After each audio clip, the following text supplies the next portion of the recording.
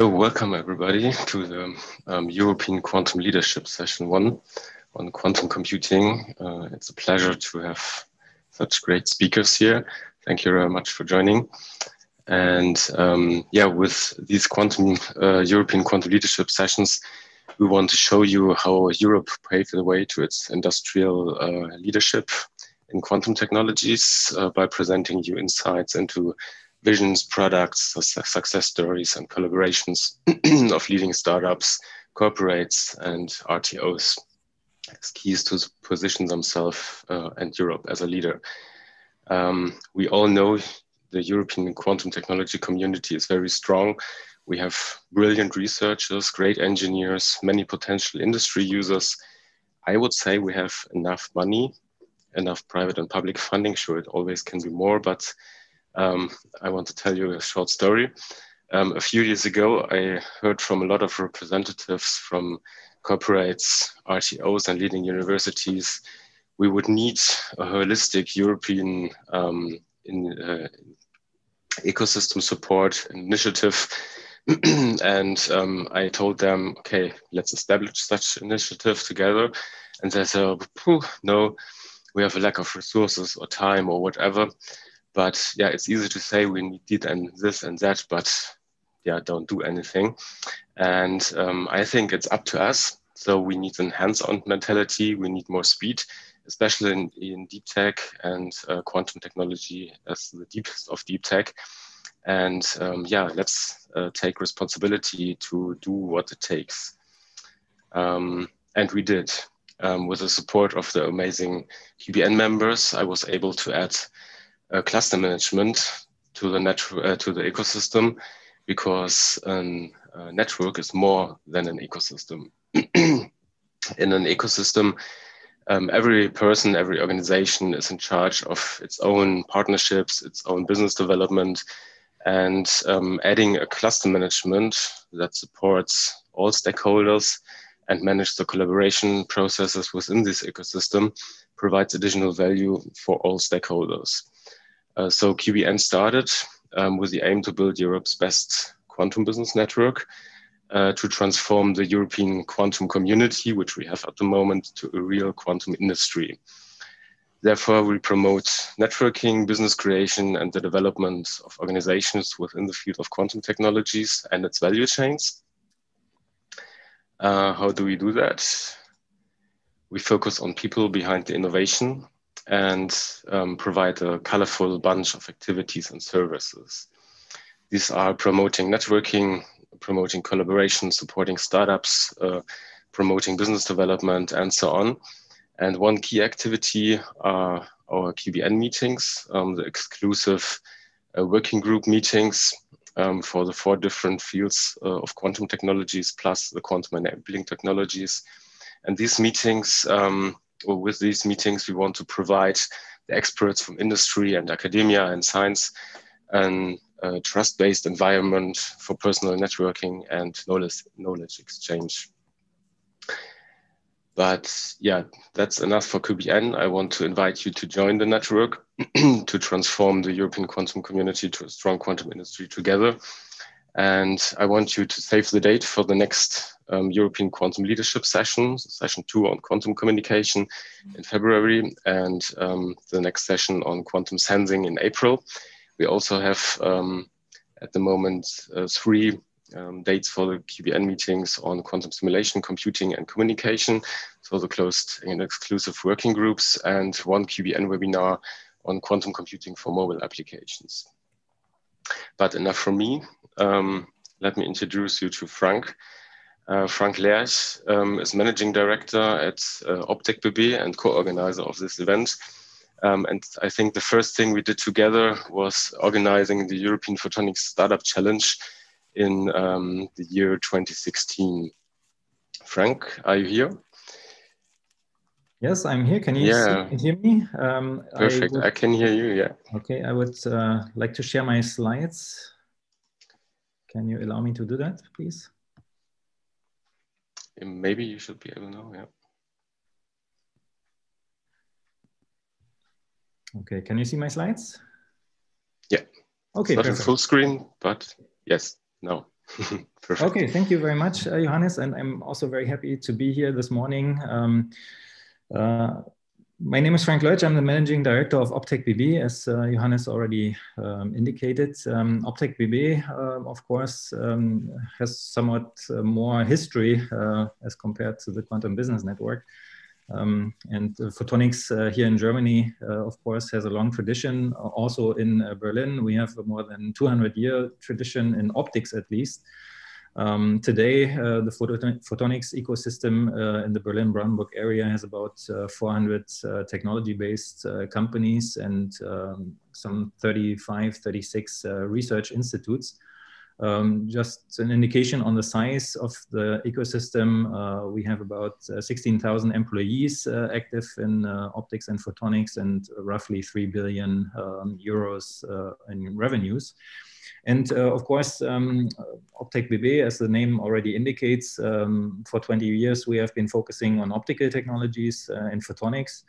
Um, so the competences that we are covering is lighting technologies, laser technologies, uh, a lot of sensor metrology activities are going on, biomedical um, optics, um, also in the field of agri uh, technologies. Uh, we do have a lot of uh, communication uh, technologies uh, development in the research institutes and in the companies. Uh, some microsystems uh, technologies activities um, and on the level of components. And of course, as you all know, um, a lot or most of the photonics um, technologies are on the baseline of modern quantum technologies. And so we also think that we have a say in quantum technologies. And um, more recently, we have seen a lot of activities uh, especially in the research uh, area uh, in the Berlin-Brandenburg region as well. of course, we are um, connected to all the other photonics regions in Germany under the umbrella of OptecNet Germany also already for 20 years now. I don't want to bore you too much uh, about what Optec BB is doing. As I said, uh, we have a 20 year history already. Uh, today, we have about 110, 115 institutional members, so companies and research institutes active in optics. As I said, we are connected uh, under the umbrella of OptecNet Germany, but we are also uh, active on the European level uh, within the European Photonics Industry Consortium, and we are active um, in lobbying activities at Photonics 21. Um, to uh, sum up already my little overview, uh, we are active um, more or less, as I said, in optical technologies, photonics, uh, so laser technologies, lighting, uh, communication technologies, um, optical analytics, and um, especially in the field of com communication technologies, sensor technologies, uh, optical analytics. Uh, there are a lot of intersections these days uh, with quantum technologies, and so uh, we already organized a number of uh, webinars and um, workshops on that topic, especially during our photonics days in October of this year. And of course, uh, we are planning to um, host and uh, collaborate in that field uh, further in the next coming months.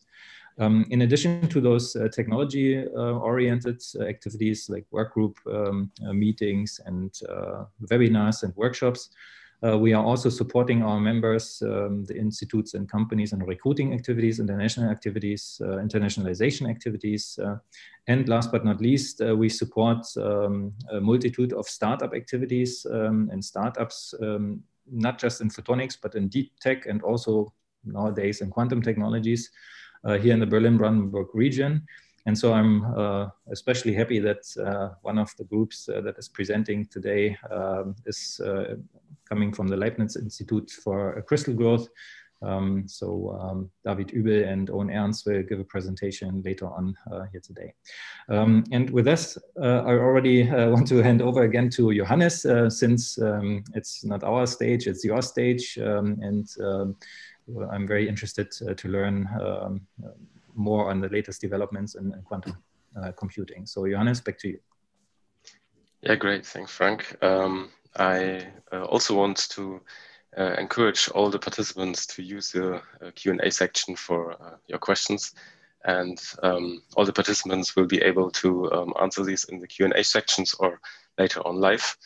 And yeah, now I want uh, to start with the first talk, and I'm very happy to welcome Ingolf Wittmann and um, Mark from IBM and Fraunhofer IAF um, with their talk, uh, the IBM Fraunhofer Quantum Project. Um, and a few words uh, to Ingolf. Ingolf um, was recently uh, IBM technical director and was in charge of high performance computing in Europe and uh, was the head of the global technical team of IBM Quantum Ambassadors. Uh, in August, uh, he took over the role as uh, head of business unit quantum systems at the Fraunhofer Institute for Applied Solid State Physics in Freiburg, Germany, and moderates Fraunhofer-wide the project partnership with the IBM Q network, including the IBM Q System One. Um, Mark has a lot of experience, uh, 36 years experience in the commercial exploitation of technology and research, um, 31 years um, of it at IBM. Um, he is quantum ambassador leader for Europe, Middle East, Africa, and Asia Pacific. He is also uh, IBM quantum business leader for uh, the DACH region and uh, he currently teaches human and machine learning and quantum computing at the Institute of Cognitive uh, Science at the University of Osnabrück and quantum computing at the University of Heidelberg. So a very busy man. So I'm very happy to welcome you and the virtual stage is yours. Thank you very much, Johannes. And I try to share my presentation.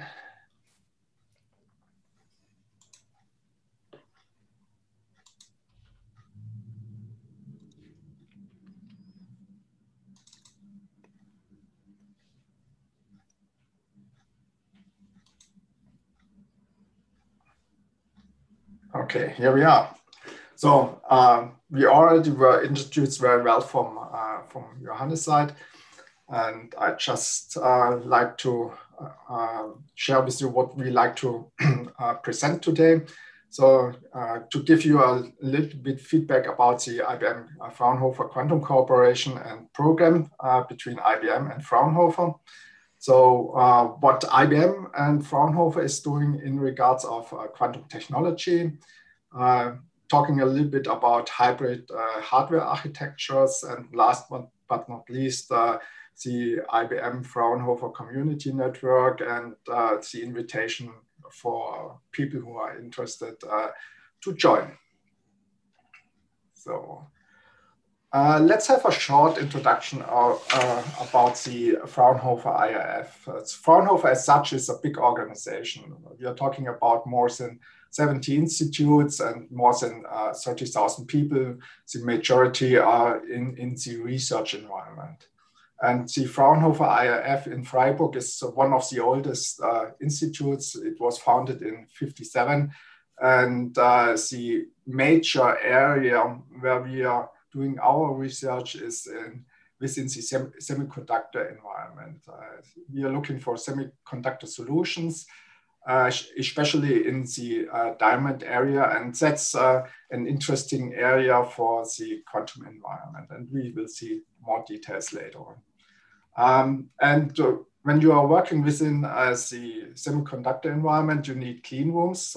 so we have quite a decent big environment with more than a uh, thousand uh, square meters, uh, where we can grow diamonds, but also can build devices also within the photonic environment.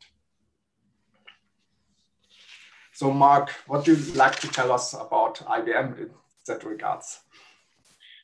Well, IBM has a very, uh, a very long history of working with quantum computing. Um, and uh, I don't want to claim uh, authorship, but um, I think it was in 1961, Rolf Landauer derived the principle or showed that any kind of irreversible computation increases the entropy of the universe.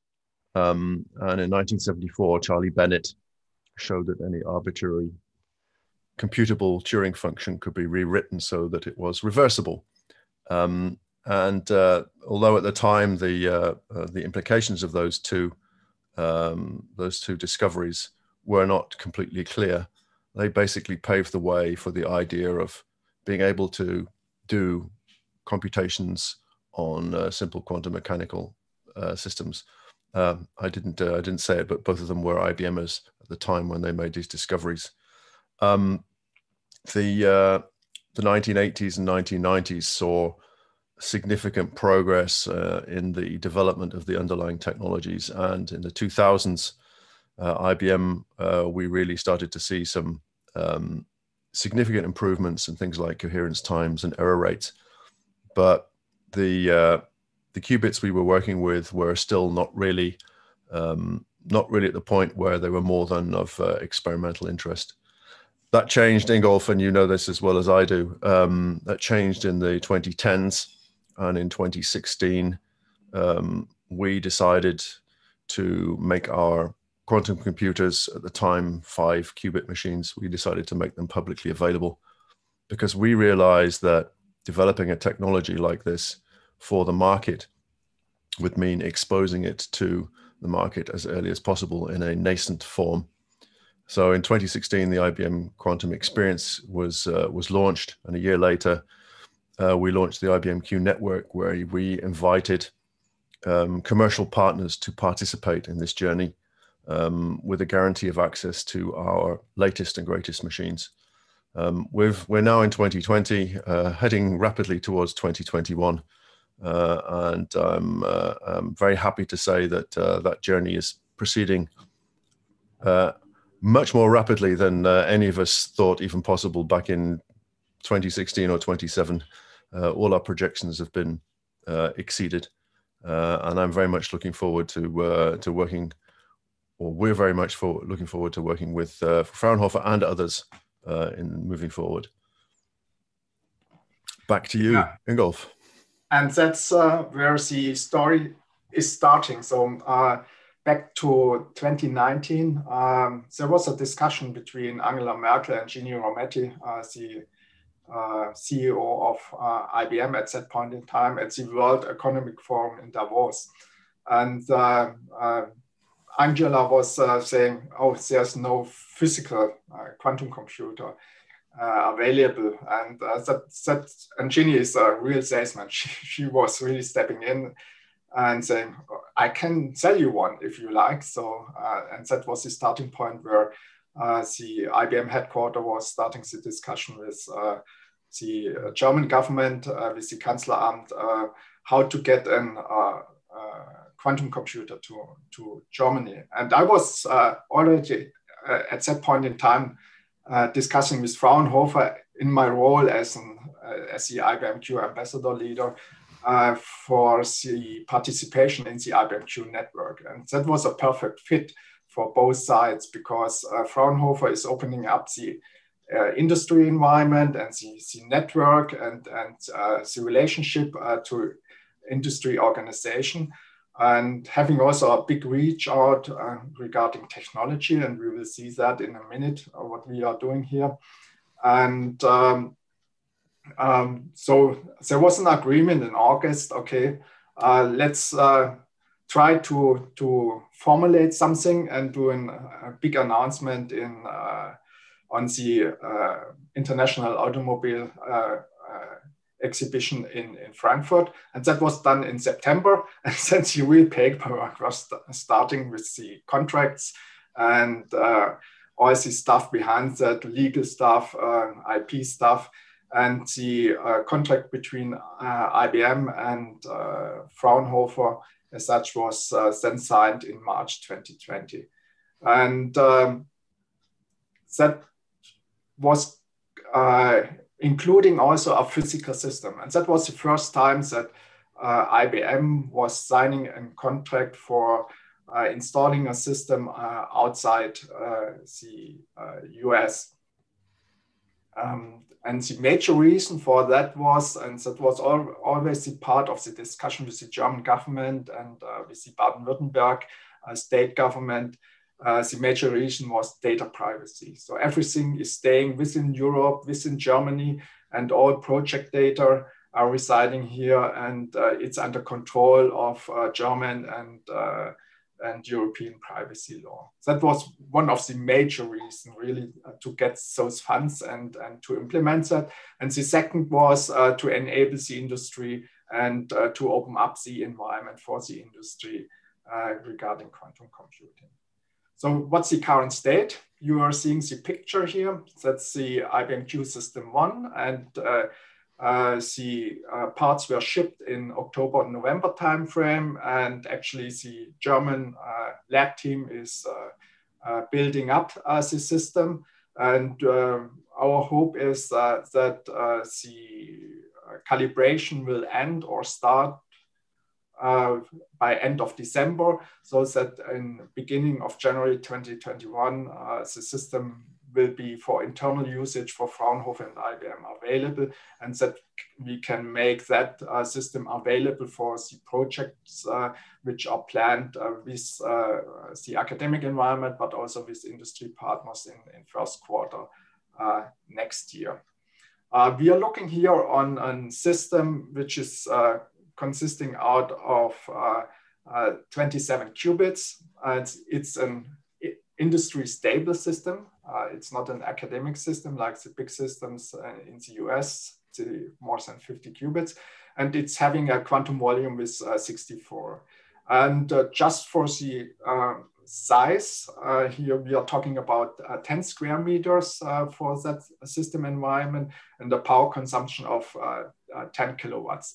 And that's even interesting when we are comparing uh, the compute power uh, to um, uh, to uh, supercomputing environments. And uh, uh, this is really in a range where you really need a big, big supercomputer to simulate an, a quantum system like this one. And um, talking about 10, 10, square meters and 10 kilowatts, uh, that's, uh, that might be an, an option also to think about quantum computing in such type of environment. So Mark, uh, what's the uh, plan from the IBM side for the next uh, couple of years? Well, um, um, Yes, I'm, I'm smiling because I know, I know some internals about uh, about the machine in Ehningen. Um, so the um, the the current, uh, if you will, the current generation, the current um, processor generation, um, you will you will notice here that our processor generations are all named after uh, birds, uh, bird species. Um, the reason being that our uh, um, head of research is a uh, um, is an ornithologist. Um, uh, so they're all named after birds.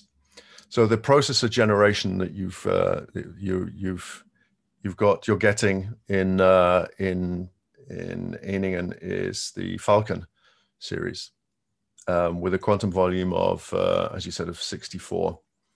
The uh, next generation of processors, the Hummingbird, um, which is uh, currently available, uh, not available to uh, to IBM Q network members, but uh, um, is uh, one of our research machines. These have 65 bits. Um, the uh, and in 2021 we announced that we are going to produce the Eagle series with 127 qubits, and a year later, scaling up to Osprey 433 qubits. And our stated goal is to reach just under 1200 qubits by 2023.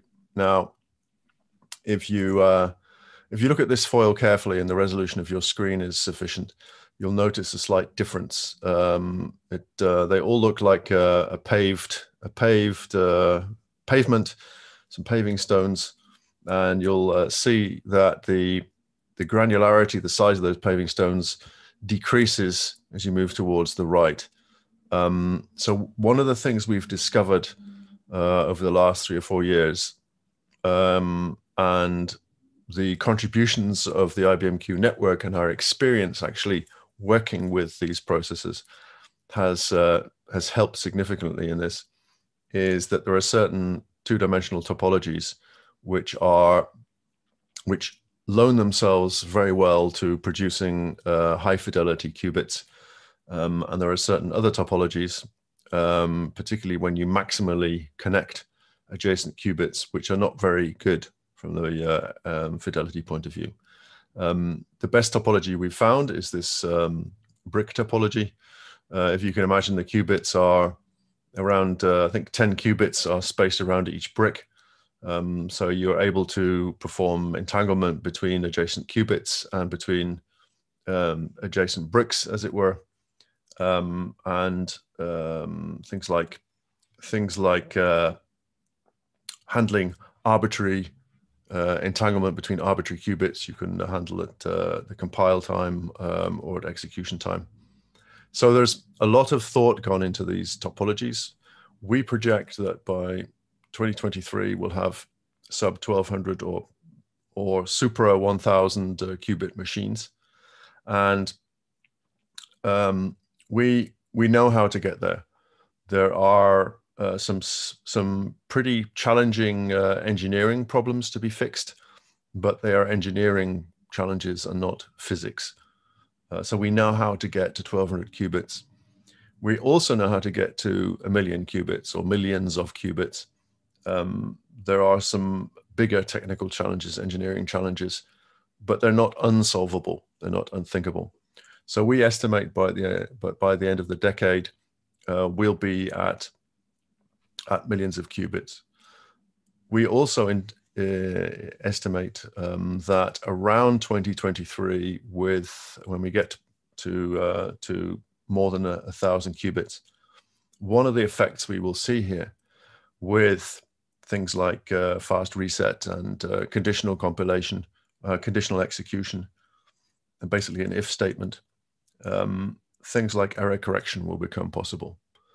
Uh, that means with error correction, you can implement um, error-free qubits, or more or less error-free qubits, or you can you can um, engineer away the major problems of uh, um, real qubit fidelity, and that puts us in a completely new environment um, and a completely new world as far as algorithms and uh, business problems is, is concerned. Uh, we are telling our customers that from 2023 onwards, uh, the world of quantum computing will uh, accelerate even more than it's been doing. Um, the time to get involved and get engaged and to begin to understand what this means and how it works is not in 2023. It's now. Otherwise, you will miss miss the train that is already rapidly leaving the station. Um, so I will uh, use that as a uh, as a hook back to you, Ingolf, to tell us about uh, uh, what that looks like. Yeah, and before we are coming really to that type of environment of uh, big systems like uh, thousands or million qubits, uh, we have to live with uh, uh, different um, approaches using the existing quantum technology in an hybrid quantum architecture environment. That means we are talking about uh, environments where uh, a quantum system is not, not big enough to uh, solve uh, uh, specific problems. Uh, so with that, you have to slice and dice those problems and to work with traditional IT infrastructure to, to build a solution around that. But uh, what we can think also about to use different type of technologies uh, within hybrid environment uh, for solving parts which are more suitable uh, to those uh, regarding technology. So for example, uh, when we are talking about AI environments, then we can think about neuromorphic design, neuromorphic chips like the Synapse chip from, from IBM, where that part is then calculated on, on the neuromorphic environment. Uh, the quantum specific parts then are, are run on an IBM system or uh, quantum devices or uh, quantum accelerators. And traditional HPC codes uh, are running then on uh, traditional processors and, and, and GPU environment. Um, and with that, uh, a new um, methodology of HPC um, computing, but also um, academic or um, uh, computation has has to be invented and and uh, developed. And that's I'm using that picture from from IBM because uh, that's really describing uh, very nicely how this can look like and uh, in which direction this, this could go. And uh, a, a, lot of uh, the Fraunhofer work is going also in that direction, how to build these type of environments. Um, what we are doing on from the IAF side and where we are famous for, let's say it in that way. And um, I'm since August uh, on, on the institute, and I really was impressed by what those guys are doing. And uh, uh, CIIF is, um, is uh, doing a lot of research in producing and growing industry diamonds uh, with uh, nitrogen vacancy centers. Uh, those um, devices are already used within the health environment for MR scans, for example. Um, it's used in that way that a color center in a ni nitrogen doped diamond uh, a single e electron uh, whose spin is used as a highly sensitive atomic sensor. Uh, and that can, can be used also uh, for, for qubit environments. That's uh, something where we are starting uh, to investigate since here for arithmetic operation, for example. The big challenge here is to produce such color centers in diamonds in a defined way and then to address the electronic spin uh, uh, specifically uh, to set a certain quantum state and uh, to read it out uh, at the end, uh, so to, to get the, the outcome. Um, for sensor technologies, the electron is allowed to interact with fields to be measured. for example, magnetic fields. So to, to investigate magnetic disks, for example, if everything is okay, or to uh, investigate um, uh, processor chips uh, if all lines are connected and, and working. for um, quantum computing, the additional challenge here is to entangle several of these spins uh, of those qubits in order to perform quantum gate operation. And that's something where we are actually uh, looking at. And for that, you need perfect diamonds. So uh, perfect diamonds uh, consisting out of carbon atoms. And uh, what we are doing, we are building uh, those uh, diamonds where we are removing two carbon atoms and putting uh, one nitrogen atom in, in, in that environment and the second carbon atom space is left spare. Um, to build these uh, NV centers, those diamonds have to be very clean. So we are talking about uh, 0.1 uh, parts per 1 million parts. So the production process is very sensitive and, and very difficult. And uh, from the theories, as theoretical side, uh, those uh, qubits would work at room temperature. So that's a big difference uh, to uh, the transformer qubits uh, uh, where we need really a, a, very low temperature. And those qubits may then also work in mobile environments. Um, the important core competencies for exploitation of those quantum uh, states are uh, on the one hand, the material development in the diamond field, but uh, above all, the expertise in optoelectronics and microwave technology, which must be used for the excitation of the color centers uh, on the atomic scale and further development uh, to this. And uh, this is also part of uh, the research within the Fraunhofer environment and can also be applied to, trans to, the transmon environment, for example. So that's something what we are doing uh, at Fraunhofer. And uh, if you can, if Corona would be over, then uh, uh, to visit that environment, that would be very, very interesting. So besides the, um, uh, to build a qubit out of diamonds, we are already thinking about to build an, uh, small devices with 10 qubits or more uh, uh, for quantum computing, uh, space technology. And that's something where we are getting actually uh, government funds and uh, research contracts uh, with the industry where we are working closely uh, together with the industry. The reason uh, for that is uh, there's a race uh, about quantum computing within Europe and in Germany.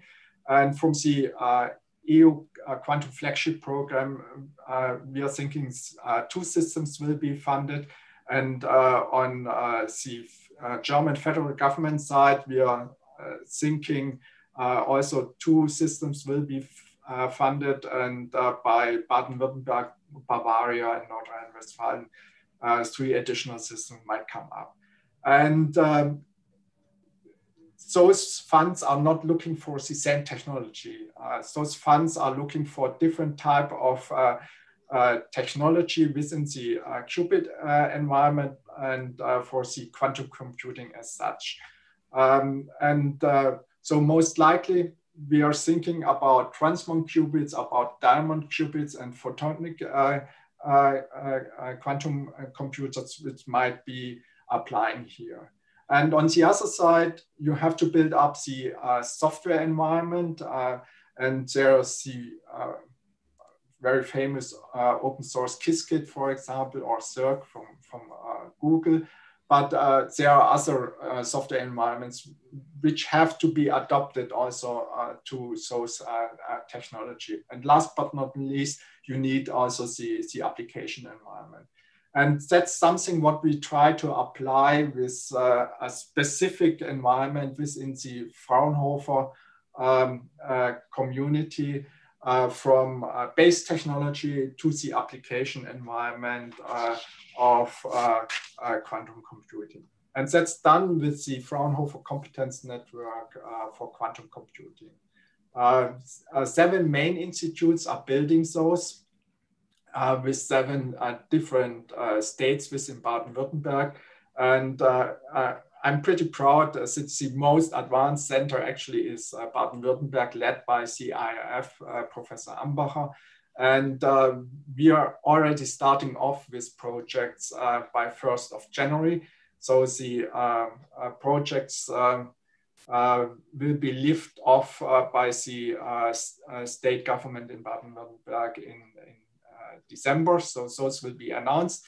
And it's really covering uh, from uh, base uh, hardware technology really to the application environment. That's covered within that. And our mission is also to educate and to develop uh, the, the industry and uh, to enable the industry for uh, quantum technology. And that's something where I like to invite everybody startups, industry companies, banks, insurance companies, but also the universities to, to join that network and, and to work closely with us to bring that forward. So Mark, what is IBM doing in, in that regards? So uh, I mentioned before that in, in uh, 2017, uh, we started the uh, IBM Q network, the IBM Quantum Network. Um, the uh, initially, I think there were uh, three or four members. Um, we've since grown that network to uh, um, actually, it's the 132 is incorrect. We're getting towards 104, 150 now. Okay. Um, the uh, but my my bad. Um, what you'll see here is a range of universities of um, research institutes such as Fraunhofer, um, uh, around 30 startups who are active in the quantum world. Um, and active means um, from from companies working on algorithm development to uh, organizations working on uh, engineering, physics of uh, quantum computers, uh, and a number of also a number of companies um, such as um, JP Morgan Chase, ExxonMobil, um, Mitsubishi Chemicals, and others who are engaging with IBM on developing actual use cases um, in the timescale of the next uh, next three years. In addition to that, uh, we have a number of hubs. Fraunhofer and uh, the University of Tokyo uh, at the forefront. Uh, Fraunhofer has the distinction of being the, as Ingolf mentioned, the first, the first uh, um, machine that we've installed outside the first, the first IBM Q network machine that we've uh, installed and built up outside the US. Um, the machine in Tokyo, we're going to begin begin construction of that very soon. That will be going live uh, later in 2021. Um, we anticipate that uh, um, there will be an increasing need for such machines, um, um, and we anticipate also that the uh, this this network, this ecosystem we're building up, uh, will will increase in size uh, in the coming years. The primary function of the network is to uh, enable organizations to get in uh, at the beginning of the mm, quantum computing revolution. Uh, I'm, I'm sure it's going to be a revolution. Um, to understand the implications of this new technology. Um, it's it begins with the the way you program a quantum computer, which is uh, very very different from the way you program a classical computer, through to the kinds of problems you can solve with a quantum computer, um, and the way you translate classical problems into problems or, or algorithms that can be run on a quantum computer understanding all that is a tall order, um, and um, the uh, the chances to develop intellectual property uh, for each of these members develop their own intellectual property um, in a let's say a protected environment is um, is of significant value. Um, we're always interested in, uh, of course, in hearing from people who'd be interested in joining the Q network, either with IBM or, of course, uh, uh, especially here in Germany with uh, with Fraunhofer. Um, so uh, um, the Q network's there. We we're looking forward to seeing it expand over the next years, um, and it's produced. I think it's produced around um, 400 academic um, scientific papers um, since its inception, uh, in the sense of people using IBM quantum systems to um, to perform work which has resulted in uh, algorithm or experiment, experimental um, results um, um progress, uh, which has been published. So very, very interesting from the point of, uh, of IP development in, uh, in quantum computing. And um, yeah, with that, back to you, Ingolf. Yeah, thank you very much, Mark. And um, um I re really like to invite everybody who like to join the network and the cooperation uh, of Fraunhofer and IBM. And the interesting part uh, with Fraunhofer is uh, we can offer something what IBM cannot offer or is not able to offer. It was always a wish when I was on the IBM side here to have uh, tickets uh, where people can buy and then use the, uh, uh, the uh, network environment. And that's something what we are offering. So we are offering when the paperwork is done, that's a little bit um, um, a work, but uh, when the paperwork is done, then uh, people can uh, buy one month tickets to use that type of environment and also the bigger backend environments of the IBM Q uh, network uh, stuff, uh, for example, systems in, in, in Yorktown. And uh, we are looking really for uh, interested parties who like to join here and to become a, a member within the Fraunhofer quantum uh, network, but also within the IBM Q network in, in that environment. So thank you for that. And I'm open for question and answers and some last words from you, Mark. Yep. Thank you very much, uh, Johannes and uh, the Quantum Business Network for the chance to to talk to you. Um, I think we all have a a very very exciting few years in front of us uh, with quantum computing. Um, uh, I've absolutely as a child of the 60s, so I was born in the year that uh, Rolf Landauer uh, made his discovery about irreversible computing, consuming, inc- increasing the entropy of the universe. Um, I, uh, I sp- started working, uh, as you mentioned, Johannes, for IBM in 1989. 1989, two significant things happened.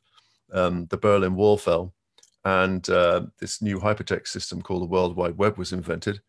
Um, and I was I joined IBM to work on this. So I've I've been a midwife to the World Wide Web for IBM, and I've observed the changes and impact that's had on society and business. Um, I think that quantum computing's impact is going to be bigger uh, than the web. That's my personal personal feeling. So um, I'm here for the duration. Uh, I very much look forward to working with any of you, all of you, um, uh, collaborating, cooperating, competing. It doesn't matter. Um, I think we're all in for a very exciting time. Yeah, thank you very much, Mark and Ingolf. And I totally agree with you that uh, it will have a huge impact, definitely. Um, so I think we have time for one or two quick questions. And um, I saw one question in the chat. Um, where is it? Where is it? Um, I think it's um, the question was um, how many systems do you intend to um, to install or to manufacture? if you think of the Falcon system, for example, as as many as possible as many as possible. no, we we uh, you won't find us making statements about plans, uh, specific plans on numbers, but uh, um, we don't intend to uh, to stop at one. That's for sure. Okay. One thing we have to say is. Uh, I think no company has built more uh, quantum computing systems than IBM. I think we are meanwhile beyond 20 or something like that. Mark no no comment but yes significantly significantly That's great and uh, the second the second question uh, would be from my side um, what are you think are crucial actions you would recommend um, for Europe and its ecosystem to pave the way to European quantum leadership? Oh, that's a very good question. And I'm sitting also on uh, European boards uh, um, for, for quantum computing and HPC and uh, also running the Bitkom uh, uh, working group uh, for HPC and, and, quantum computing. And th this is an uh, imminent uh, discussion base between companies, but also the, the government environment. And I think the recommendation is that we have to work jointly together really to build these systems that uh, uh, that type of environment is really built up within Europe as a joint effort uh, between the academic environment and the industry environment, but also with the international partners, so the non-European companies, let's say it in, in, in that uh, way. That's, that's very crucial and, and important. And if we, we can achieve that, then uh, we build a quantum environment which might be different from what's uh, uh, actually looking like from the um, yeah, US side, but also Japanese side. And we will see what from China is coming. So collaboration is the key. yeah, definitely. Yeah. And uh, I, I, uh, I always like to say that um, the, and, and there was an example was earlier um, with the uh, photonics um, I've forgotten the exact number, but it was uh, just under 400 companies just in Berlin working on photonics. If you go to Jena or other locations, it looks the same. Um, the number of people working on photonics in Germany, just photonics, it's incredible. You will find this nowhere else in the world. Um, if you look at the university research on uh, quantum physics applications, it's it's unparalleled on this planet. Germany leads the world in the fundamental technologies. We're also a, um, if not the, one of the major uh, industrialized or industrial production um, nations on earth. Uh, it seems to me as a, a I was born as born British and a naturalized German. It seems to me like it's really obvious. Just bring the two together. Um, I think we have to find ways to do that, mm. and uh, the Quantum Business Network and other initiatives are the right way to do that. Thank you so much, Mark. Yes. you excuse me my yeah. extra extra two minutes for that. no, it's perfect. Advertising uh, advertisement for QBN is perfect. No, that's that's exactly what we want to do with QBN, and um, also um, in partnership with the other initiatives um, in quantum technology. So yeah. I think we will reach uh, the 500 uh, for Germany in a few years in quantum technology as well. okay, yeah, thank you again, Ingolf and Mark. And um, now I want to quickly hand over to Thorsten. Um, is uh, the co-founder and director of development and engineering at uh, um, Orange Quantum Systems uh, from Delft. He received his diploma in physics and a PhD in uh, electronical engineering from the Ruhr University Bochum. And before co-founding uh, Orange Quantum Systems, Thorsten was part of the team at QuTech in Delft that developed the Quantum Inspire, uh, Europe's uh, first public multi-qubit quantum computing platform. And yeah, he has a talk, uh, we are enabling the future of quantum computing through co-development. And Thorsten, the virtual stage is yours. yeah, thank you so much, Johannes, for this nice introduction. Uh, first of all, do you see my slides? Not in full screen, but we see it. Okay, now it's getting bigger maybe. Now it's perfect. Okay, let me do stuff here on my side still. Okay yeah, again, thank you very, very much for uh, introducing uh, me here to the stage and also for giving us the opportunity, Orange Quantum Systems, to introduce ourselves a bit and um, our value proposition to the ecosystem. As you already mentioned, uh, we are a spin-off from QuTech in Delft in the Netherlands and um, becomes clearer kind of what we are after. after. So let me check whether I can turn the page. Um, as the previous speakers already mentioned, quantum computing has indeed um, far-reaching potential and um, commercial applications of quantum computing in general are to be expected in a variety of industrial sectors, ranging from health, pharmaceuticals, to material science, finance, logistics, you name it. And um, that's also why in recent years, quantum computing as a field has experienced a significant increase in innovation and competition. But what's also important to, to state here, and I want to stress this in the following slides a bit more, we are not there yet. And um, I also want to say that we in Europe also need to get our hands dirty to um, build things. Um, next to the large potential quantum computing holds, there are still considerable scientific as well as engineering challenges looming. So uh, which need to be tackled on this long road towards uh, universal quantum computing. And um, for starters, it is important, even though um, maybe that not for all of us, it's clear right now, the transistor of the quantum era is not yet called or determined.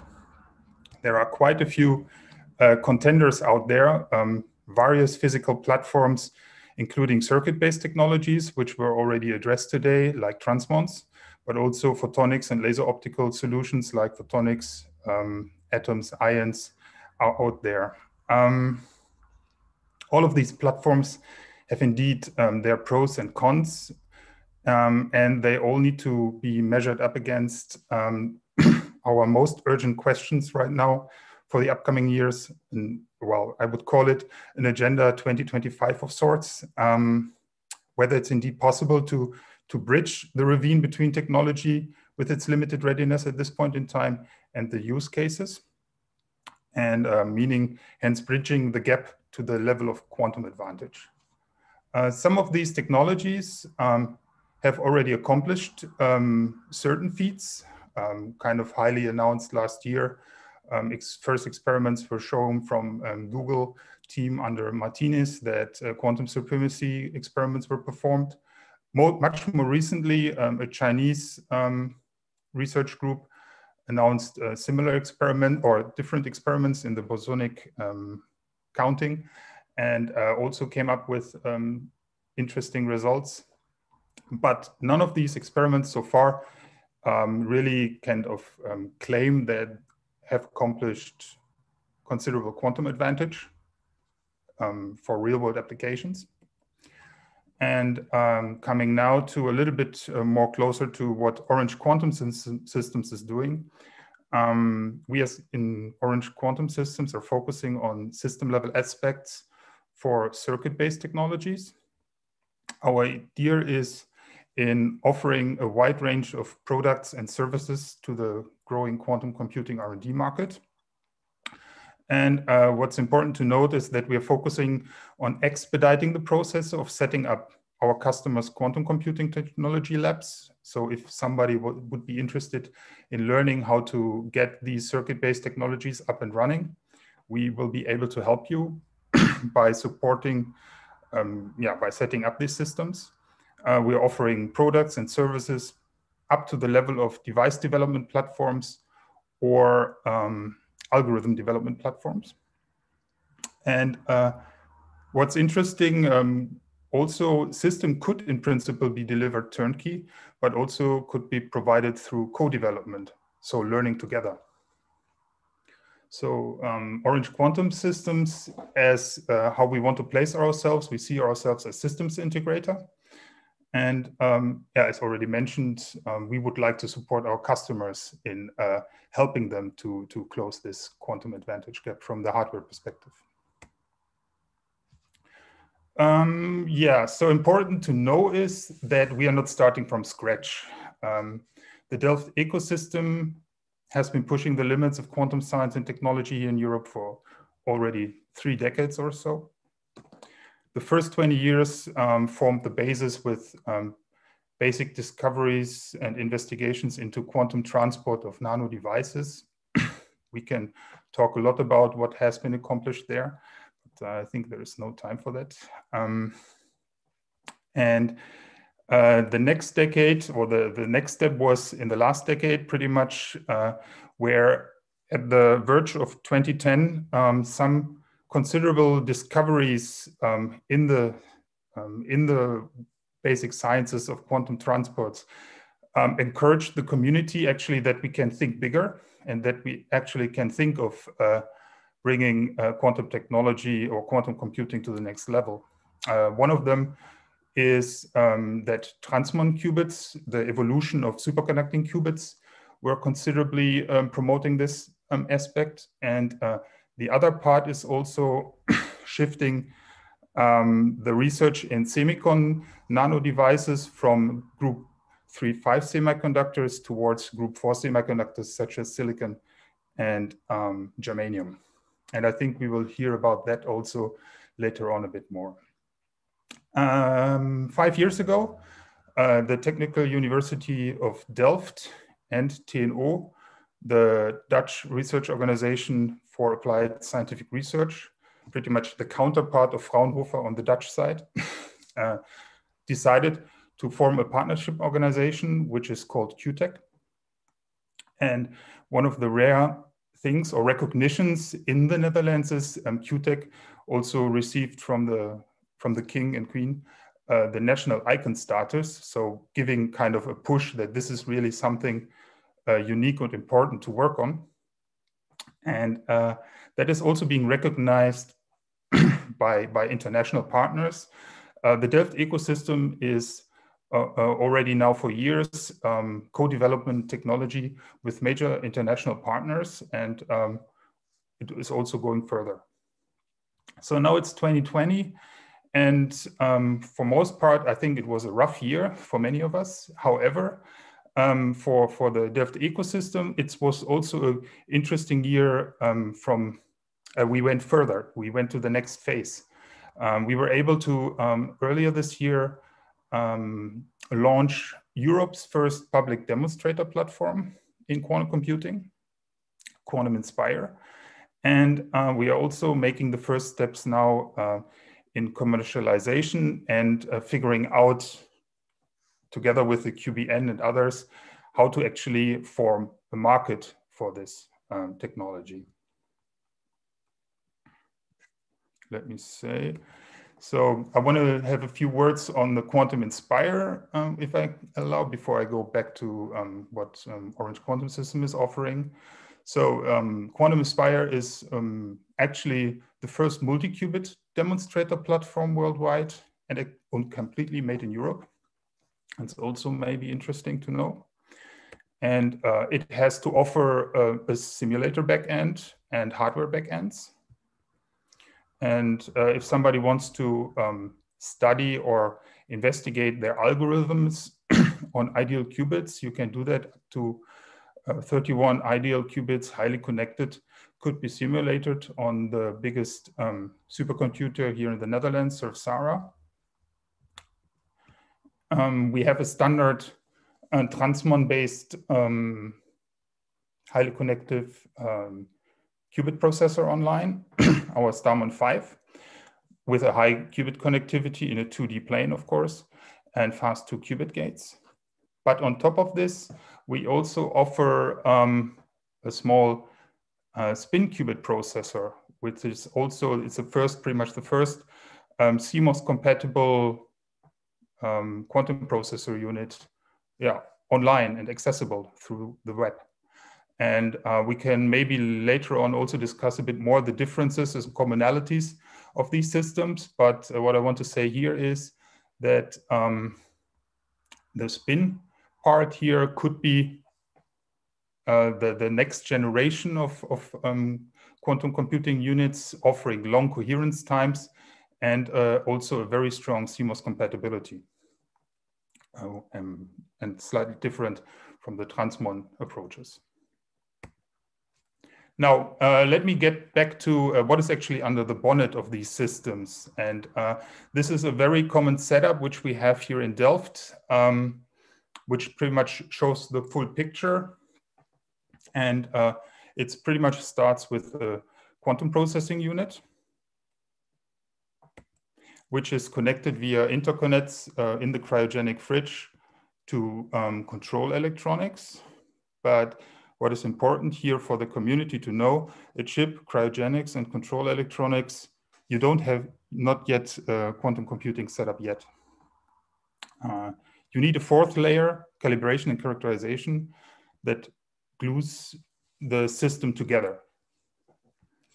Um, so from the perspective of academic environments, this is already a very good system.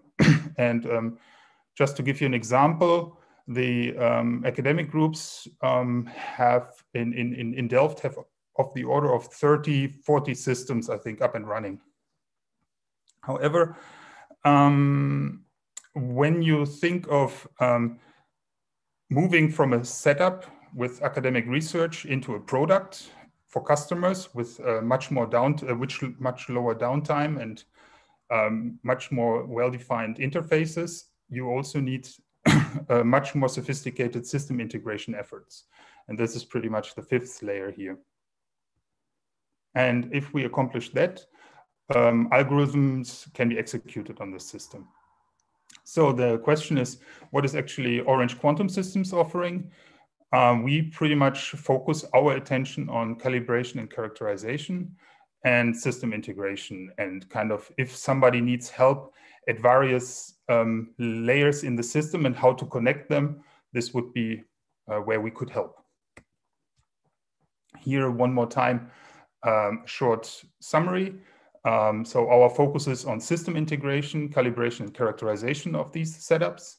Uh, we experienced knowledgeable in engineering of the different interfaces of hardware and software components. And uh, what is also important, we have a professional automated or calibration and characterization framework, Quantify, uh, with which we can automate experimental physics. And then, of course, um, trans this translates into realizing the maximum device potential of the quantum processing unit. Yeah, we have a few minutes left. I want to summarize um, what we have on offer for the community, um, our products and services. And uh, on the left side, you will see that, uh, yes, indeed, um, we could um, provide you with demonstrator platforms or device development platforms if you're interested more in uh, manufacturing of these devices, or we can also provide you with um, uh, sophisticated solutions for algorithm development platforms. But um, if you also think on the right side, uh, your, you, your approach is not the whole stack or the full system right away, uh, we definitely can offer you engineering su support and on each and every layer. We have, our focus is also very strongly on customized control software and automation. And um, Another offer is um, if you're kind of the person going into the clean room and want to build stuff, um, we could also offer you the solution of um, device characterization or certification to, to, to bring this technology further. So um, these are the products and services we can also discuss later on if you want. Um, but uh, I also want to quickly introduce our uh, team of co-founders. Um, besides me, uh, Harald Alberts is the managing director of Orange Quantum Systems. The director of research and development is Adriaan Rol.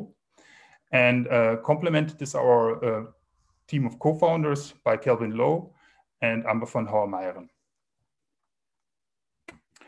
Um, in the last one or two minutes, I also, uh, Johannes was asking us to give um, a picture of uh, how we see um, Europe placed. And I think I already gave you quite a few examples that uh, Delft would be a good place to be, to, to, to work with.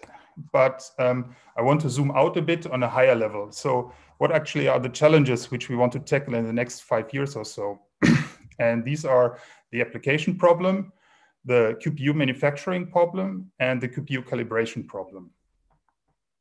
So now there is an interesting, I think, slight different take as compared to the first speakers.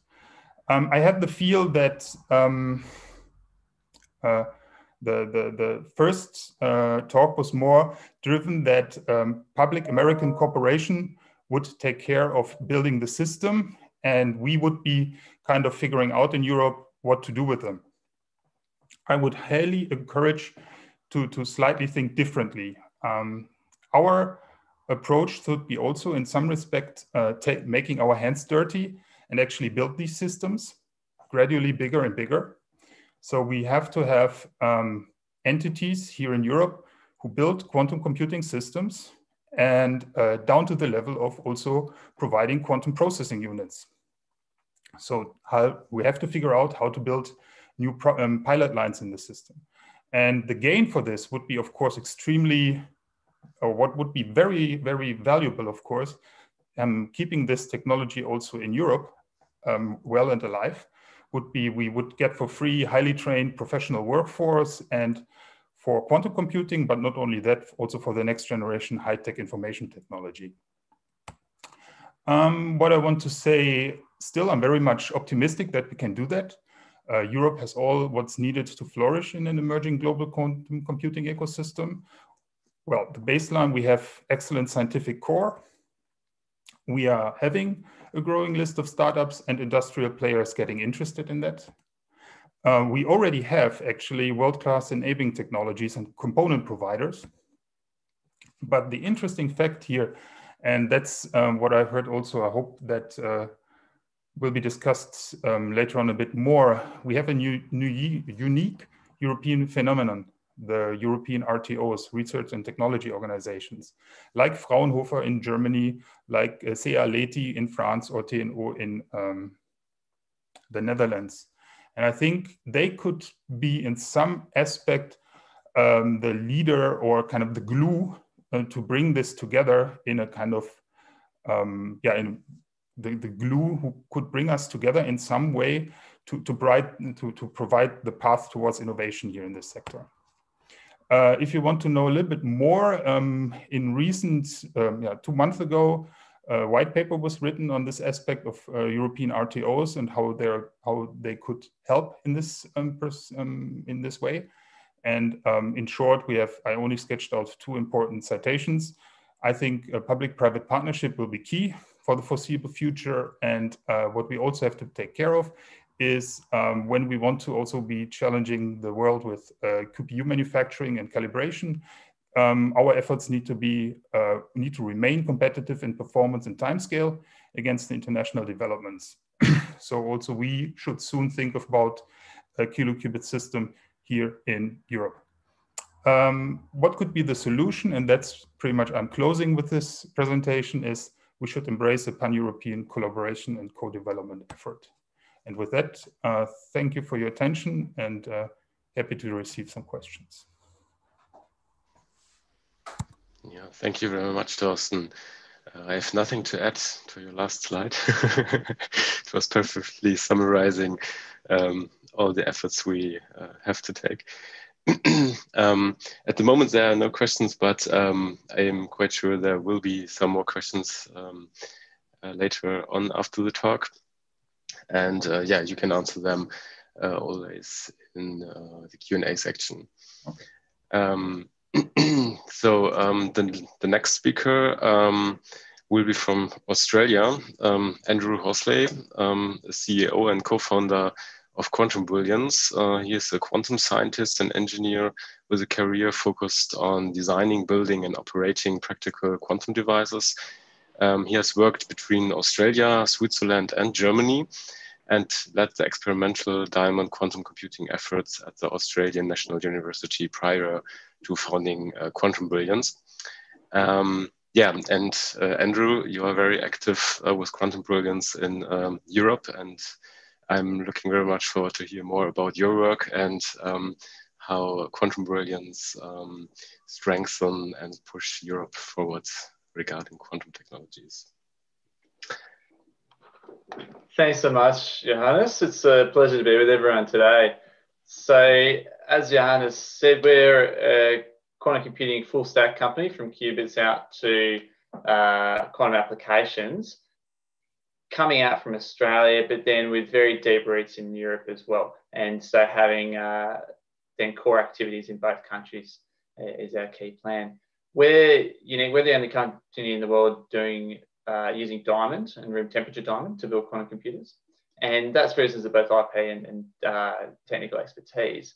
And what it means is that we have a very different vision to uh, others in terms of what quantum computing can be and the direction that that can go. So really our goal is about making quantum computers uh, just like any other component of computing technology, just like your CPU or GPU. And so our goal in five years is to have shrunk down quantum processors something the size of a lunchbox that's providing already then a useful quantum advantage. And that's quantum advantage not compared necessarily to a supercomputer, but compared to the other components of a supercomputer. So compared to a GPU card or compared to a CPU. And then that's something that you can then uh, build up and deploy on mass, just like you deploy CPUs and GPUs on mass. So in a, CPU, in a supercomputer or a data center environment, then this would be having thousands of quantum processors deployed within that in the racks alongside everything else. Um, but then we can also take it out and, and find uh, use in all the ways that cloud classical computing isn't a solution. Uh, we can provide then uh, local low latency quantum acceleration in that wide range of applications. So that's that pathway. And then in the immediate term and over that next five years, we're able to offer customers then immediate access to quantum hardware uh, based around then a few qubits and uh, growing uh, in, in diamond quantum systems. So that's something that we're doing field trials here in Australia uh, in the first half of 2021, and then looking to uh, deploy that around the world after that. And that's something that we'll deploy uh, on site for users uh, in, in, for example, a server room environment. So to start with that, and then I'll kind of take you through, okay, what are all these uh, that we're looking to do in a bit more details about these two boxes. Um, to start with a bit about ourselves. So I'm then the CEO and one of the three co-founders of Quantum Brilliance. I'm, uh, as you might tell by my voice and, and everything, uh, from Australia, but I did my PhD in Basel. I lived there for about six years, and uh, my partner's from Germany. Very close ties then uh, for myself to to Europe, and for my co-founder Marcus Doherty as well. Most of our careers have really been spent collaborating very closely with partners in Europe, and then we're now a team of about 15, going on 25, uh, coming out and based at the Australian National University. And that's really somewhere that's been at the epicenter of diamond quantum science and technology for the last 40 years. And Marcus, uh, my co-founder, is then uh, the, the go-to guy for the theory of quantum diamond systems, particularly the NV Center. We're also then based in Stuttgart in Germany. And so Whoops, there we go. Then that's a, that's a team that we're starting to build up and we're looking to really have a broad range of activities there. So like, like the other um, uh, presenters today, I strongly echo that uh, sentiment that Europe is a place that has everything for success here, except the companies to actually build quantum computers. So there's incredible uh, talent base in quantum technology, but also all of the enabling technologies and precision manufacturing. There's then research partners around Europe, so not just Germany, but um, then you know in, in the Netherlands and in the UK and in France. The there's big companies that have incredible high tech programs, but no appetite for building quantum computers themselves. And then there's incredible government investment. So we really see the missing piece in translating all of this potential into a strong quantum industry is companies like Quantum Brilliance that and say Orange Quantum Systems that would be coming in and helping build quantum computers and having that European uh, manufacturing capability and local uh, supply chain. So this is something that hopefully I'm conveying. I'm personally very passionate about. Um, then um, uh, this is this is our second home as a company and as founders, and we see there's a potential, particularly for Diamond, where then Diamond has this unique ability to uh, really transform how we think about quantum computing. And then we're able to, to uh, be the vehicle for that success in Europe. So, like everyone, we see quantum computing as then one of the ways that we're going to move beyond the limits of current computing architecture. It's not going to replace current computing architectures, but it's going to augment them and work alongside them. And one of the challenges there uh, is that current architectures are starting to really run out of steam uh, with, with the transistor starting to hit, uh, get towards atomic limits. We've already seen single quantum processors from Google outperform the world's largest supercomputers for certain tasks. But the challenge is we're going back to this mainframe era of quantum of computing, rather. So just like in the 1950s and 1960s. So these are going to be confined to large facilities. There's only going to be a handful of them deployed. And whilst they're going to do incredibly important tasks, they are going to transform industries. They are also going to be fundamentally limited in the types of applications they can support. And so, what we're looking to do is break free from that. And one of the key things also for quantum computing is at the end of the day, we want a box that's solving our problems faster. So the other thing I like to introduce is size, weight, power, and ultimately cost as key metrics alongside the performance of your device. And then how we define quantum advantage at Quantum Brilliance is then when you have two boxes of comparable size, weight, power, and cost, and one of them is outperforming the other for a certain task. And so with systems that are uh, in, in a kind of superconducting context, for example, then really the only way is up in performance. There's a bit of wiggle room in, in size, weight, power, but right now the direction is really in, in scaling these systems up. And the threshold and the comparables are supercomputers. The what we're able to do is rather than having these room sized devices though, we can shrink it down, as I said before, to things that are the same size, weight, power as the components of a supercomputer. And so all we have to do to provide quantum advantage is significantly beat a component of that uh, for a certain task. And so it turns out that you can cross that threshold with even a few tens of qubits. Uh, so depending on size, weight, power, and the particular application, that might be even 20 or 30. And certainly by the time you hit 50 uh, noisy qubits, then you've crossed into that realm of quantum advantage. Now, that's not where we end our journey. Uh, we'll continue up to hundreds and thousands of qubits and beyond. But that's then happening in the context of devices that are now providing a quantum advantage. And so people are engaging with them not to get ready for quantum, but because it's actually solving their problems faster already. And so that really changes then the scope of uh, engagement with quantum computing. And so we'd like to then talk about um, just like in the mainframe era, that was then transitioned with the introduction of classical microprocessors into turning classical computing into an everyday technology. That's what we're trying to do with quantum. We're building quantum microprocessors using our room temperature diamond technology that aims to make quantum computing just another everyday technology. At the heart of it, we have a nitrogen vacancy center. So we're using spin qubits, just like trapped ions, uh, neutral atoms. And the, the aim of the game in all of these systems is trying to find ways to isolate your qubits from the environment. Basically, in a quantum computer, you need to control the qubits, you need to isolate the qubits from the environment, and obviously you need to assemble those qubits. And, and um, the typical way to assemble them uh, in the spin qubit sense is trapping them uh, either with a crystal, like it's diamond or silicon, or it's in trapping them in, in a vacuum with uh, electromagnetic fields. So say laser cooled atoms or, or trapped ions. All of typically then you need quite active mechanisms to isolate your qubits from the environment. So whether that's cryogenics, that's lasers, the vacuum systems. And the challenge there is that that's, that's that big infrastructure uh, overhead.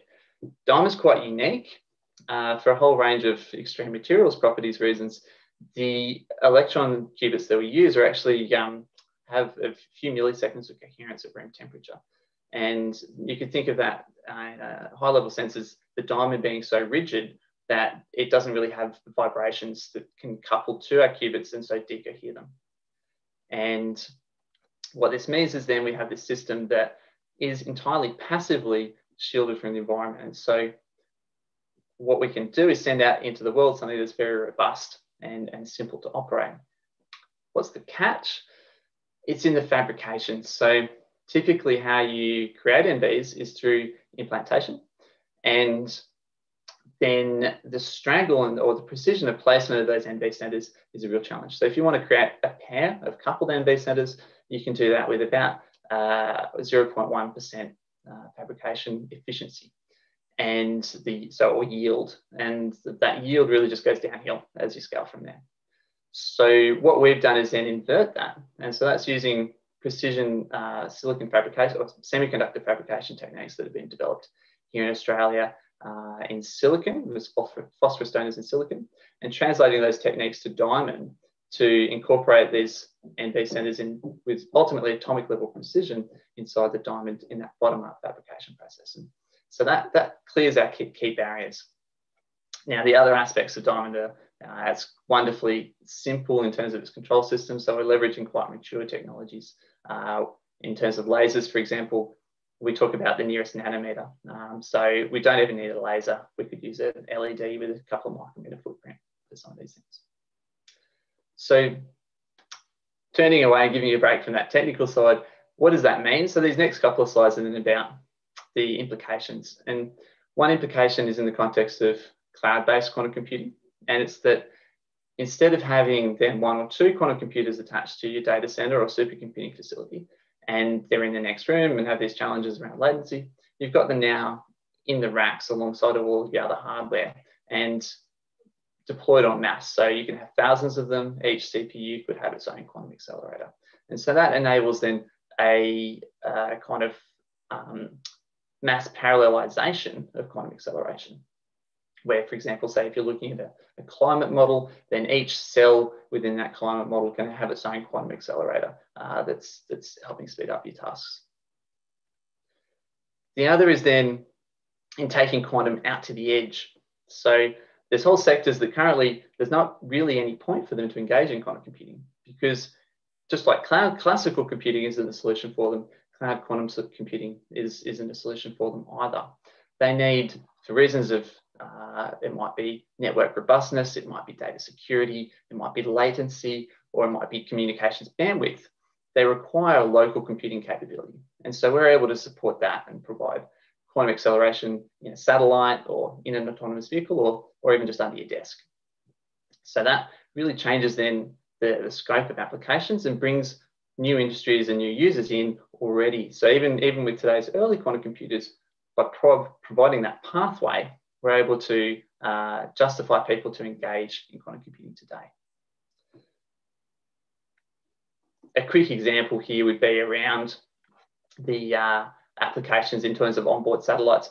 I won't go into this. I'm conscious I'm uh, running a little long on time here, but just to say that we are working then with a range of uh, partners. In this case, it's a defence uh, applications company based here in Australia and looking at real world applications of quantum computers and uh, in a deployed edge quantum computing environment.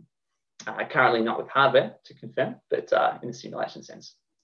So the key thing here is around that shift of how we think about quantum from being a cloud-based system uh, to something that's just a component of any computing system that you might build. And you can use that in all the ways that you'd be using uh, a classical computer today. So what can we do to help and what are we looking to do in Europe So we're building up, as I say, these manufacturing facilities. We're looking to engage with partners around Europe.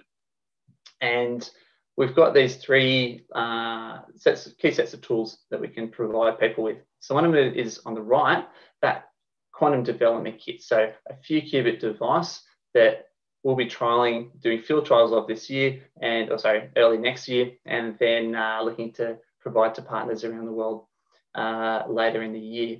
We've also then got our own quantum operating system that we're developing to integrate easily with high performance computing in an accelerator type context, and then also building a quantum emulator, so a simulation package, a realistic simulator of our backend. And this is something that I really want to stress because it's quite unusual, is that we can simulate quantum advantage. Now, the reason for that is that we only quantum advantage for us is when we're beating components of a supercomputer. And so a supercomputer is then actually able to simulate the full range of early quantum application um, activities with our devices. So with that 30, 40, 50 qubits, uh, with efficient quantum simulators, then we're actually able to probe that regime. So that's what, we build, what we're building tools for and using this quantum emulator to support. I might skip past this. We kind of talked to that and then leave you with this, which is then what we're doing at the moment is uh, partnering with supercomputing centers, particularly around the world, as, as one of our main uh, areas of engagement. We've already now partnered with one of Australia's leading uh, institutes. So they're positioning themselves to be the largest uh, supercomputing center in the Southern Hemisphere. And uh, we're looking to do, as I say, hardware field trials on site with them early next year and then looking to have similar partnerships in North America, in Asia, and in Europe. The goals for us are around, in Europe, around providing tools to support and accelerate the growth of Europe's quantum ecosystem, and then also having that local manufacturing and R&D base. For us, that's a really strategic importance. As, as has already been discussed today, Europe is a fantastic center for talent, for partnerships, and for investment. That's where we want to be. It's where uh, it's our other home base. But we're also then passionate about helping accelerate the growth of uh, user bases and providing these tools to help people along, just like we're doing already here in Australia. So with that, I might uh, stop sharing these slides and um, hand it back to you, Hannes. Thanks very much. Yeah, thank you very much, Andrew It was an impressive talk, and um, yeah, I'm very happy to have you here in Europe. um, so at the moment, there are uh, also no questions. Um, I want to encourage all the participants to um, yeah use the Q and A section or reach out to me if you want in contact to the speakers, and I can make the introduction for you. Um, then you can uh, discuss it uh, in person. Um, so then we will go directly to the next uh, presentation uh, of IQM to Rasmus. Rasmus Lindman uh, is IQM's head of business development. Um, he is in charge of commercializing the technology and he has a background in uh, a few tech startups, but decided to enter the quantum computing world because of its potentially massive impact the way we live. So I think potentially we have to uh, eliminate here in this sentence, but uh, yeah, Rasmus, the virtual stage is yours. Very good. Thank, thanks a lot for the kind introduction. And hi, everyone. So my name is, uh, as, as, said, my name is Rasmus, and I, I'm going to talk about uh, today about IQM, our company from Helsinki, Finland, and, uh, and more specifically, what this phrase of ours, we build quantum computers, actually actually means. Uh, so let's let's kick, kick right off. So so to begin with, uh, I'd like to tell a bit of background about the company. So, so we IQM is a quantum hardware company from Helsinki, Finland, as said, and uh, and we like to say our, that we are we are currently the leader in the superconducting quantum computers in Europe, and uh, and we, we, we as I said we come from Helsinki, Finland, and this this uh, this, this, and there's a reasoning behind that. We are we are we are a spin-off from Aalto University and State Research Center VTT. Uh, so where, where, where, we got got got uh, where all, all the founders came from and also where where most of our talent is coming from so so that's the that's the strong backbone from of our company and uh, and, and, and what we're doing is that we're building these on-premise quantum computers for research labs and HPC centers. Uh, that's it in short. Uh, we can later on go into what it actually entails and, and what have we, what have we accomplished uh, so far. Uh, in, in, terms of resources, we have gathered, uh, managed to gather uh, over 70 million in, in funding after the company was founded in, in the summer of 2019. and also we have, we have been very very fortunate in the sense that we have over uh, 80 people working working for us at the moment in most of most of them in Helsinki, uh, but also uh, uh, in Munich, Germany. So so so we are we are really establishing ourselves in the in the or trying to establish ourselves in the in the hotspots of the of quantum computing in uh, in Europe. Uh, and just to give a bit, big bit background on on how, how we see this whole quantum computing scene now, and and and then later on think a bit about how how do we want want to fit into it. So first of all, I, would like to say that there is this great shortage of talent. I, I I think all all of us can agree with that. That in order to really capitalize on this massive potential of quantum computing, there needs to be a lot more, a lot more people involved and educated on this topic. Uh, otherwise, the applications are, uh, are will always be there, but there will be no one to no one to make take advantage of those.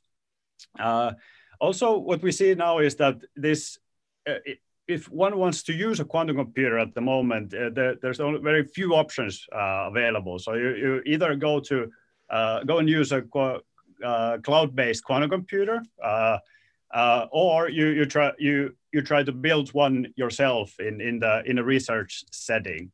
And, and this is this is the sort of paradigm. So there's very, very, very few vendors to, who are actually trying to trying to produce these quantum computers that you can uh, use as you see fit and, and, and try to develop further if, if, if, that, if that's the case. Uh, um, and moreover, this, this, the, to continue on this, on this note of this background note, I, I think uh, what what is, is important to state that what is right now happening is that countries are are investing like uh, as Andrew I believe also said that uh, like uh, very very heavily on this on this quantum computing topic around the world. And uh, and and in this regard I think I think uh, I think Europe has has also shown some leadership especially with the quantum programs in the that are currently ongoing in in France, in Germany. Uh, so there, these multi-billion dollar investments are being made uh, uh, to the to the to the to the industry as we speak, and and and, and uh, which is which which is obviously great. And and and I think this this speaks to the sentiment that that governments around the world are, are recognizing the fact that in order for them to capitalize on this future, uh, this technology of the future, they need to they need to be investing into the infrastructure, into the talent development, and into the uh, competence building. And uh, and with all this said, said then then this, this is how we fit into this. So we build these on-premise quantum computers, and and and the reason for that is that we we foresee great importance in this hardware uh, in this in the future development of this of this field, because we believe that what by deploying hardware that you can you can start experimenting with uh, in, a, in a research uh, setting uh, that is that is of that is of great quality and of of, of, of, that and that is fully optimized for that specific purpose of research. We, we foresee that this is the catalyst that will enable the talent to emerge uh, around the around around these these machines, and this is exactly what we're doing right now. So, so, so in short, we are building these uh, machines for research labs, uh, but also important uh, early customer as well. We what, that we that we're talking to is our HPC centers because these are often the, uh, as you know, these are these are often the uh, spots where the where the where the scienti- scientists uh, um, use computing resources. So it makes sense that quantum computers are working in this regard as well.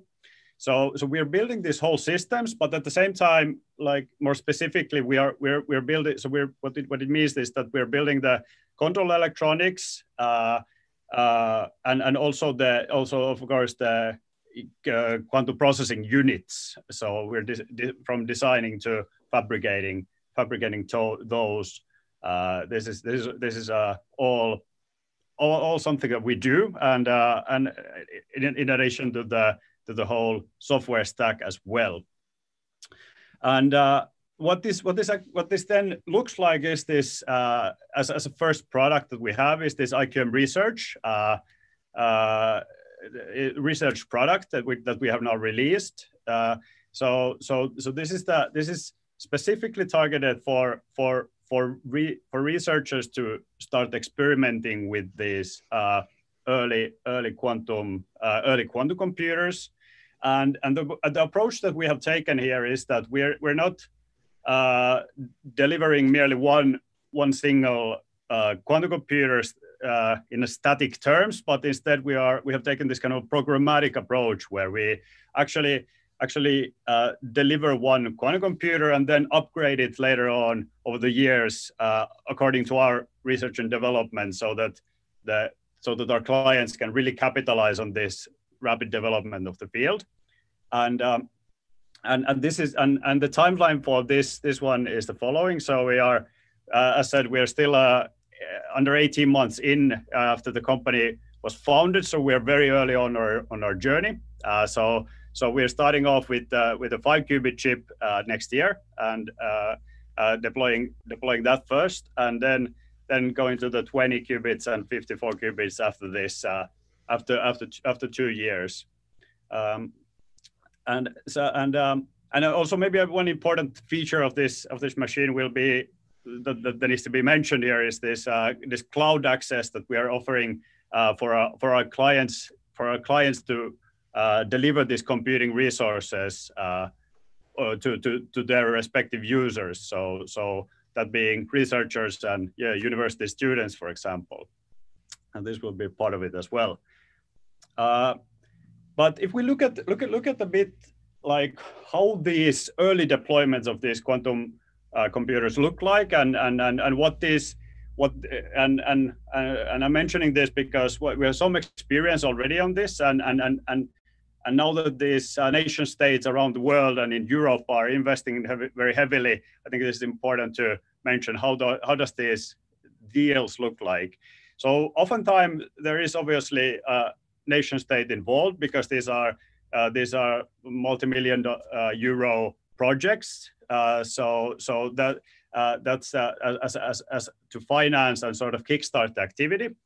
Uh, but but but but to, to make the whole whole system and ec ecosystem work on this, I, I, think it's important. It's it is important to bring in plenty of other people as well into this. So so there there so one model might be that there is some some client who who who will be responsible for hosting the system and who, who makes the actual purchase. But in, in, on top of that, I think it's we think it's important that that all the local corporation and all all the local uh, people involved uh, even remotely in the research activities around the quantum computing are really brought together into this project, and it is it is then deliver.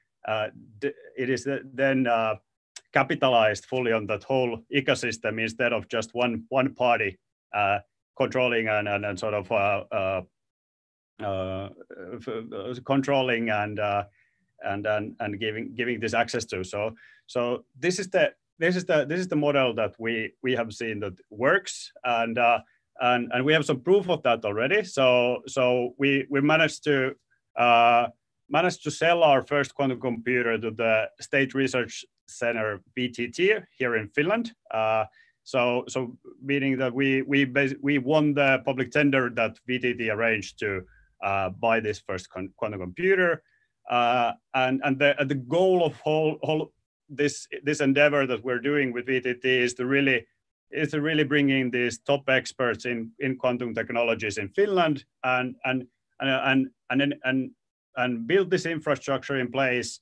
and to to enable to really to kickstart Finland's efforts in this in this quantum computing realm. Uh, and this is what we're ho hoping hoping to do and achieve together with uh, with with VTT. Uh, and about the project, very shortly. So it was a 20.7 seven million million euro project, and uh, and the and the plan is to deliver this uh, this 50 50 plus qubit quantum computer over over the next three years, and uh, we're already, of course, working very heavily on this, and and looking forward to deliver the first chip uh, and the co computing uh, and the whole computer soon soon to the VTT's facilities. so so if we go forward now from this uh, from this research setting, we're of course looking to uh, looking looking into this HPC realm as, as I mentioned, and uh, and this is and and this is what this is super important for us because we, we foresee that this quantum computer acting as an accelerator to the to the classical resources of the of the HPC centers will be one of the first uh, instances where, where the quantum computers re are really going to be useful uh, in, a, in, in, a, in, a, in a commercial or scientific setting.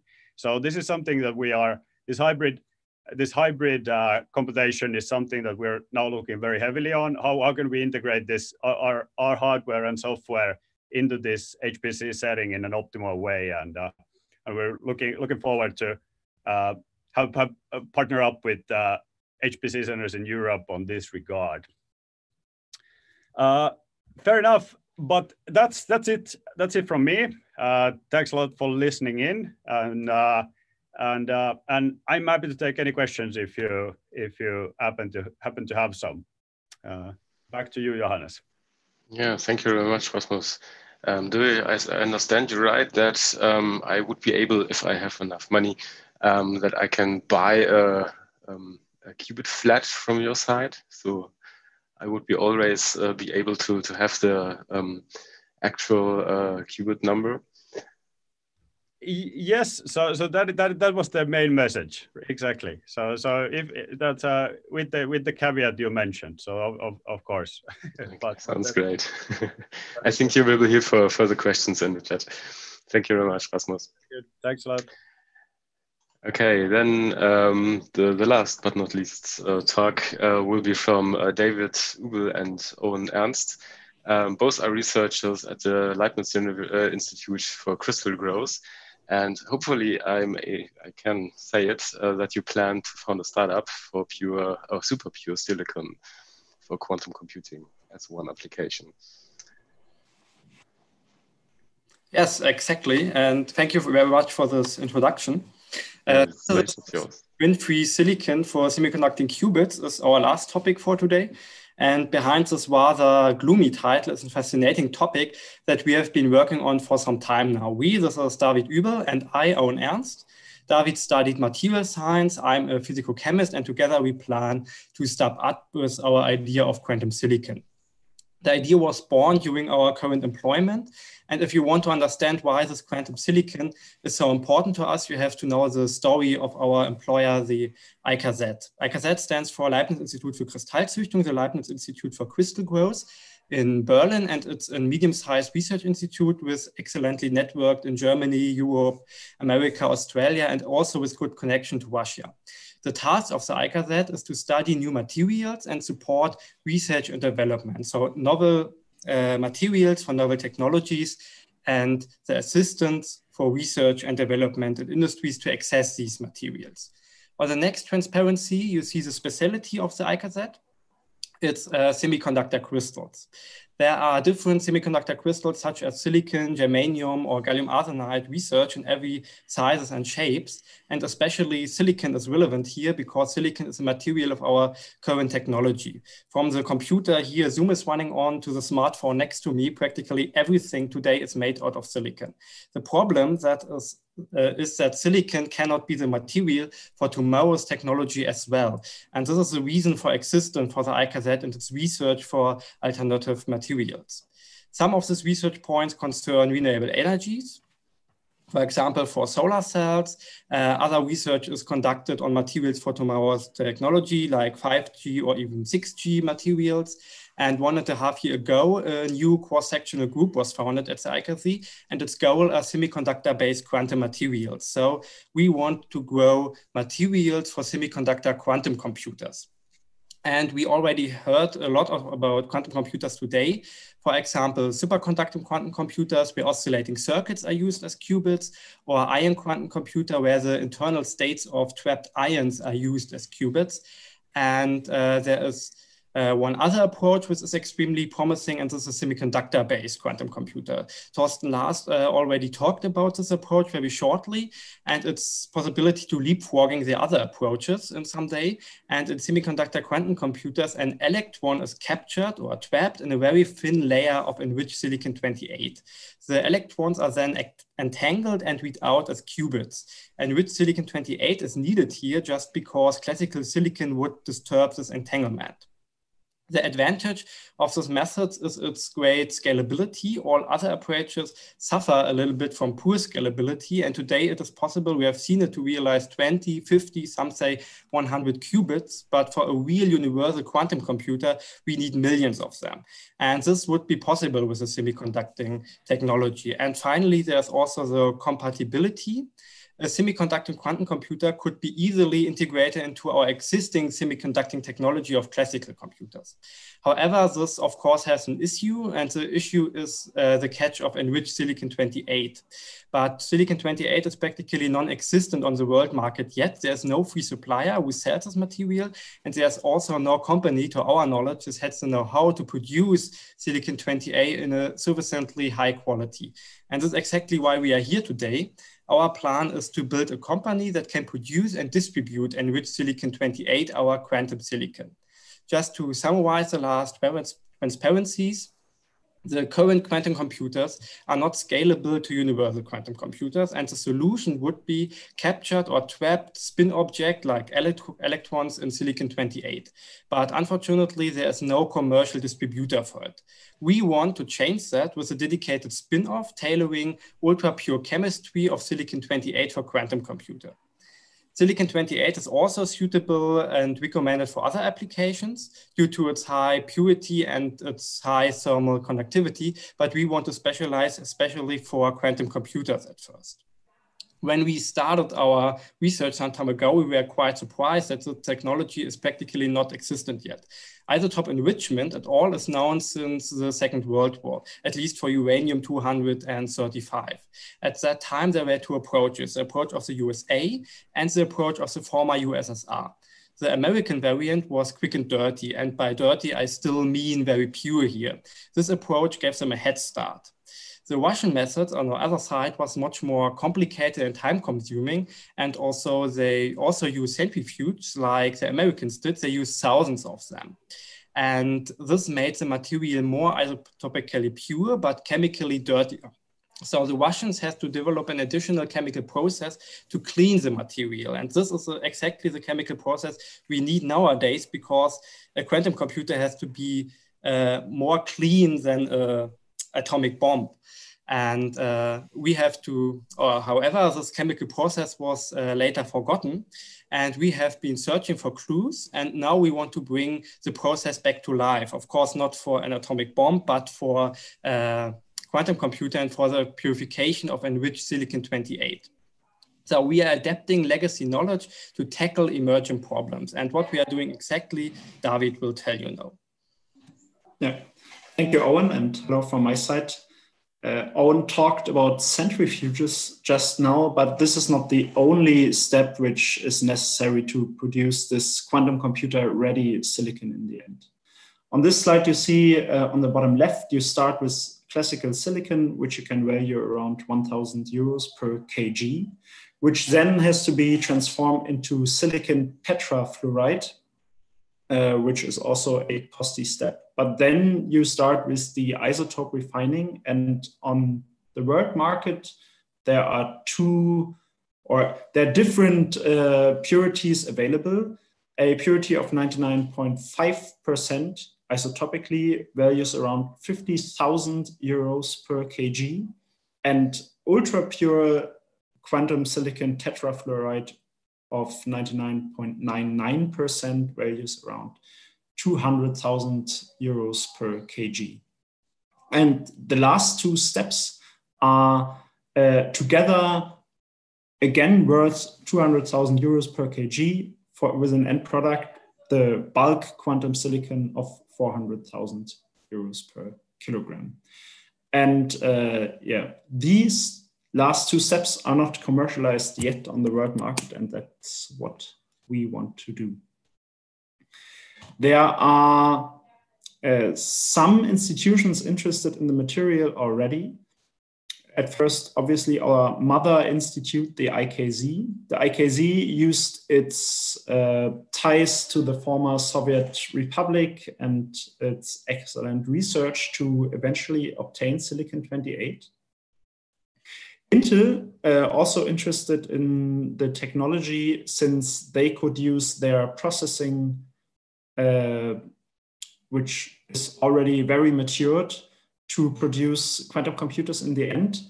They have invested over the last five years in a exclusive production chain to now have a reliable source of, of the raw material. And then there is an Australian spin-off of the University of New South Wales, Silicon Quantum Computing, and as the name says, invested in silicon quantum computing.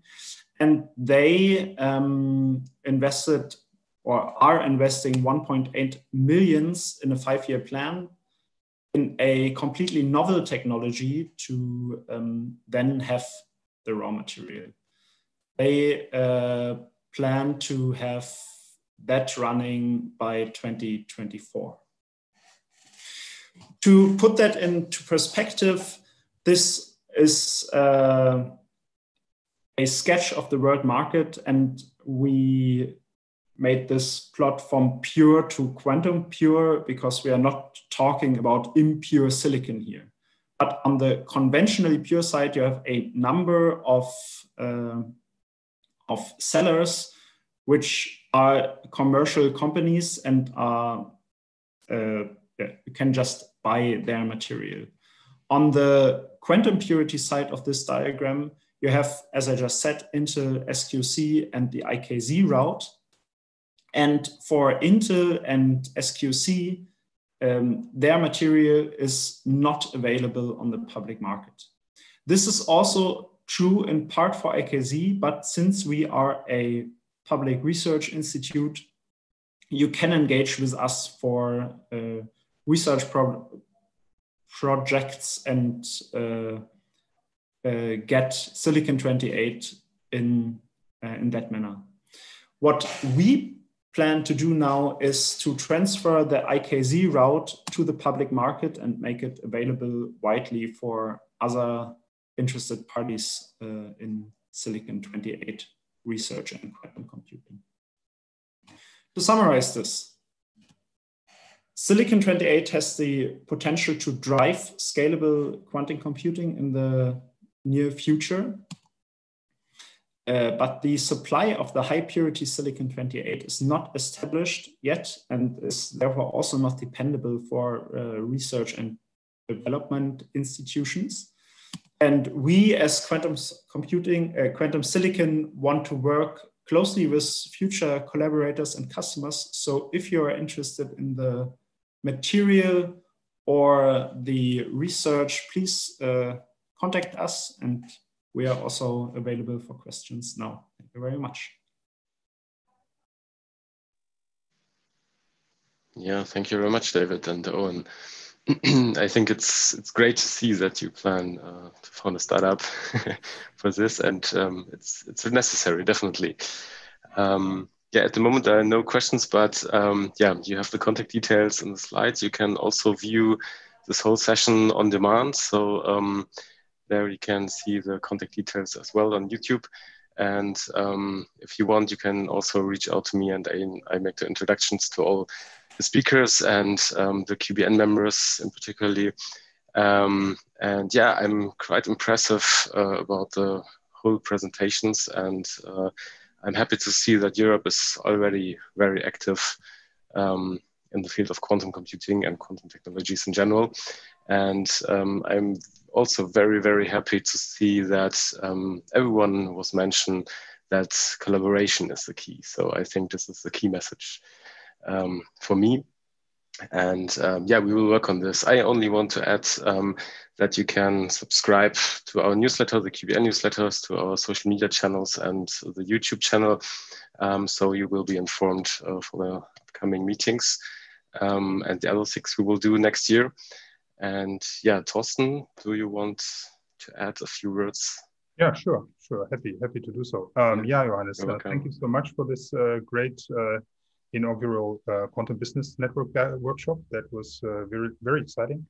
Um, I'm really looking forward also to to many more sessions in 2021.